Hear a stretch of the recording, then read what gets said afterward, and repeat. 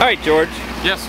Uh, you've told me a lot of great stuff here in the last 20 minutes, but uh, tell me about the uh, two in one header that the that the uh, that the Vance and Hines Harleys are running.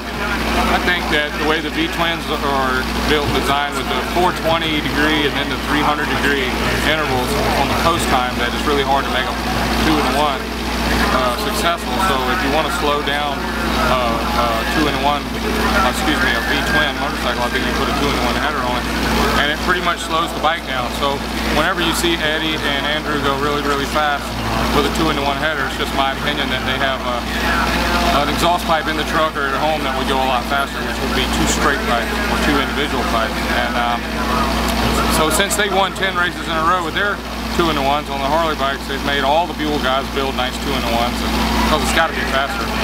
Um, doesn't matter how many headers you got, how many pipes you got, it's how many cams you got, how many valves you got. Double overhead cams, four valves per cylinder, make way more horsepower than how many exhaust pipes you have. So I'm thinking that if we had a um, it, it, put most of the Buell guys to sleep for a little while trying their two-in-ones. We missed out on a couple races because we ran a two-in-one.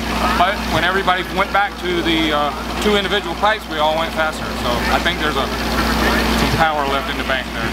And that uh, when when when a Buell gets very close to uh, Oh yeah, I believe we're gonna we're gonna see the straight pipes. Yeah, the when somebody catches up with the Harleys, I think they'll take their two and the ones off and go back to straight pipes. All right. Just an opinion. Anything else? M I M H O.